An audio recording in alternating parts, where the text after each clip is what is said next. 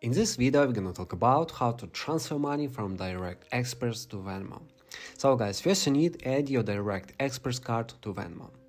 Open your Venmo app and click on menu icon and then click on settings icon. Tap on payment methods and uh, add your Direct Express card with credentials. After that, call to the number on the back of your Direct Express card and make a transfer to your linked Venmo account. And that's it guys. If you have some questions about your Direct Express or Venmo, feel free to write them in the comments. Thanks for watching guys and see you in the next videos.